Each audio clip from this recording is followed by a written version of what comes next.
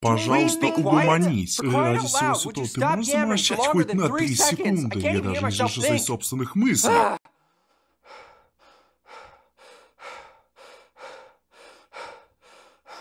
Яблоко! Что?